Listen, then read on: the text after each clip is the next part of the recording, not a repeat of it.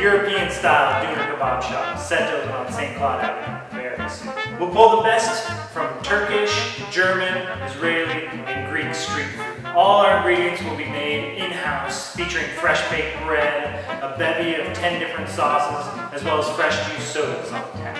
So Ben and I have been working together since 2009. I was traveling in Greece on the Caravan Stage Company, which is a traveling circus barge, and had incredible food made Came back, I was obsessed with it.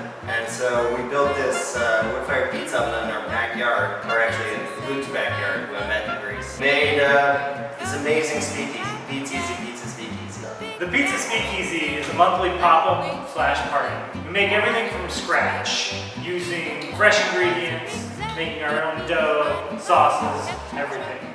We feature live music, fresh juice cocktails. In addition, we also have Margaret's, which is a farm-table bistro menu that uh, we use our wood-fired oven to create these beautiful drinks. We make everything from scratch. What we've built in Speakeasy has been incredible. We want to keep it incredible and keep it in that space. To move forward, we've had to build a brick and mortar around our new concept, kebab. With kebab, we're going to be making sandwiches where we stack all of our own meat on gyro machines, vertical broilers. And you get an incredible product with that. You get crispy edges, tender centers, it'll be on fresh baked bread with tzatziki.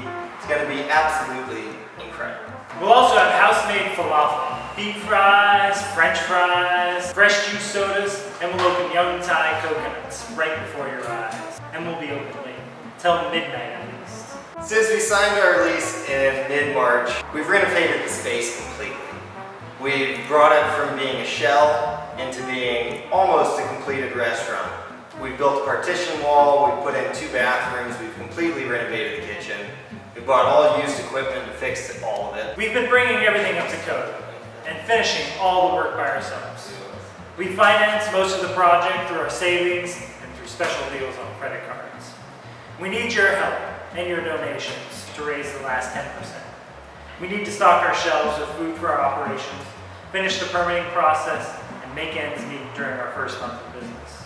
Just like the Pizza Speakeasy, kebab is a super personal project and made with lots of love. Since we're in the heart of the St. Claude Arts Corridor, we've turned half our restaurant into a, into a gallery space, and we're opening it up for second Saturday art shows and special events. An objective of our renovation was to create a space for ourselves to do our monthly pop-up Margaret's, to be able to do weekly or monthly lamb roasts, to give our space to other chefs to do their own pop-ups, and to make a space where we can do kebab for you. And we want to keep doing the Pizza Speakeasy, which I know everybody loves, at the Speakeasy.